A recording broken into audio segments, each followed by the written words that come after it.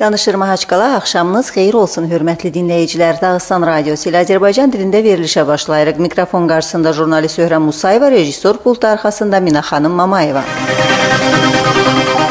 Respublika rəhbəri Ramazan Abdullatipov təbiəti mühafizə orqanları işçilərini Ekoloq günü münasibəti ilə təbrik edib. Sizi Peşəkar Bayram Ekoloq günü münasibəti ilə təbrik edirəm. Respublikamızın təbii zənginliyinin ətraf mühitin qorunmasına yönəldilmiş fəaliyyətiniz Dağıstanda dövlət siyasətinin tətbiqində prioritetlərdən biridir. Əminəm ki, bu bayram yalnız ekoloqların deyil, eləcə də respublikanın və ölkənin gələcəyinə, övladlarımızın və nəvələrimizin sağlamlığına biganə olmayan hər bir şəxsin bayramıdır. Təbiəti mühafizəsi ilə məşğul hər kəsə möhkəm can sağlığı, gözəl diyarımızın təbii ehtiyatlarının qorunmasına yönəldilmiş xeyirxah işinizdə sizə uğurlar arzu edirəm.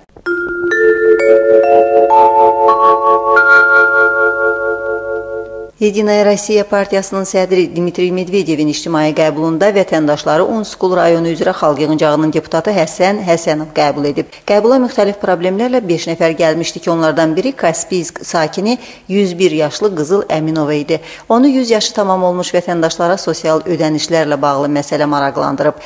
Əfsus ki, bu günə ölkəmizdə sinni yüzü ötmüş vətəndaşlara hər hansı sosial müvazinət nəzərdə tutan qanun qəbul edilməyib. Uzun ömürlüyün sirrini əməkdə görən Qızıl nənəni bu mənim məyus etmədi. Xeyirxah adamların onu dəstəkləyəcəyinə şübhə etmir.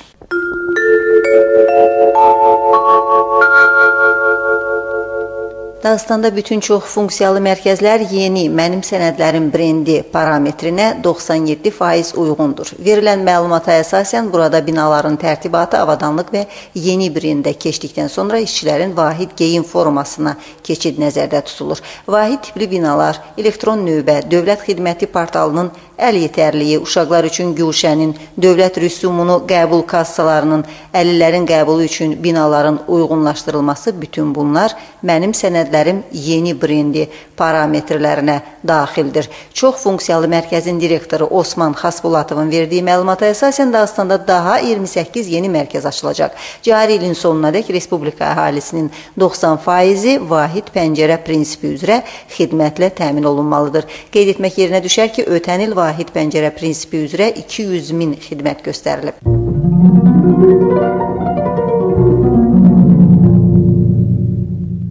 Ölkə hökuməti yaşayış minimumunu 17% artırıb. Cari ilin birinci kvartalı üzrə bu rəqəm 9662 rubl. O cümlədən əmək qabiliyyətinə malik vətəndaşlar üçün 10404, təqaüdçülər üçün 7916 rubl təşkil edir. Yaşayış minimumu federal büdcəyə formalaşarkən sosial siyasətin işlənməsi və tətbiqində ölkə əhalisinin həyat şəraitini dəyərləndirmək üçün tələb olunur.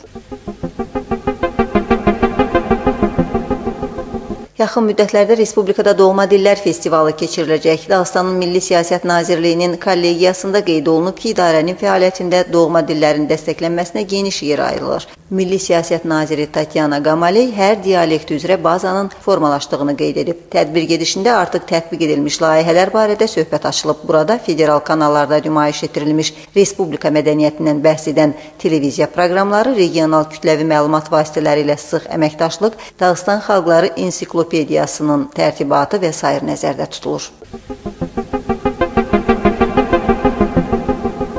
Rusiyada dayə, kuryer, digər mikrosahibkarların işini nizamlayacaq yeni qanunun qəbulu gözlənir. Yeni qanun layihəsini Rusiya prezidenti nəzdində sahibkarların haqları üzrə müşavir aparatı hazırlayır. Qanuna əsasən mikrosahibkarlar özünü məşğul məqsədi ilə sənəd əldə etməli yaxud Yandex işə bənzər sistemdə fərdi sahibkar kimi qeydiyyata alınmalı olacaq. Ekspertlərin fikrincə məhz mikro sahibkarlar daha çox hallarda əmək qanunvericiliyini pozur. Hazırda 12,5 milyon Rusiya vətəndaşı müvafiq fərdi sahibkar kimi qeyri-qanuni iş aparır.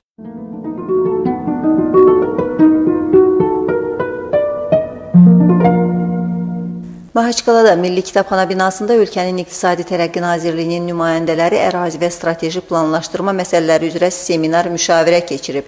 Regional inkişaf üzrə məsul 3 federal departamentin nümayəndələri tədbirdə iştirak edirdi. Tədbirdə ərazilər üzrə planların tərtibatında innovasiyalar barədə 6 mühazirəçi çıxış edib. 2 gün davam etmiş konfrans iştirakçıları şəhər aqlomerasiyası mövzusuna da toxunub. Mahaçqala ölkə miqyasında pilot layihələr siyahısına daxil edilib.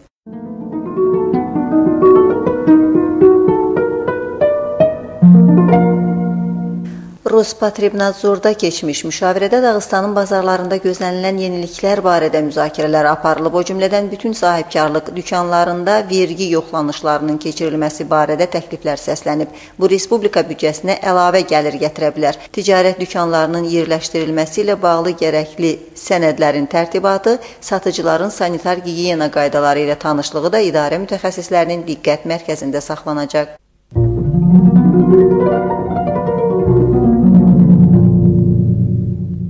Dağıstanda ikinci kənd təsərrüfatı siyahıya alma prosesinə hazırlıq gedir. Respublika hökuməti sədrinin müavini Şərif Şəripovun rəhbərliyi altında keçmiş hökumət müşavirəsində müvafiq məsələ müzakirə olunub. İkinci kənd təsərrüfatı siyahıya alma prosesi gələn 2016-cı il avqust ayının 1-dən 16-sına dək keçəcək.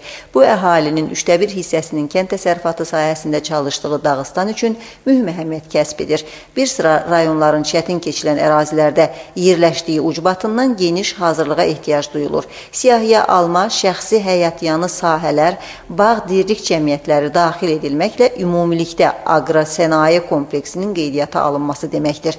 Bu, kənd təsərrüfatının ölkə daxilində vəziyyəti barədə daha dəqiq məlumatın əldə edilməsi məqsədi ilə keçirilir. Siyahıya almanın yekunları Sputnik kartı üzərinə qoyulacaq ki, bu da əkin və məhsuldarlıq proqnozlaşdırılmasına imkan verəcək.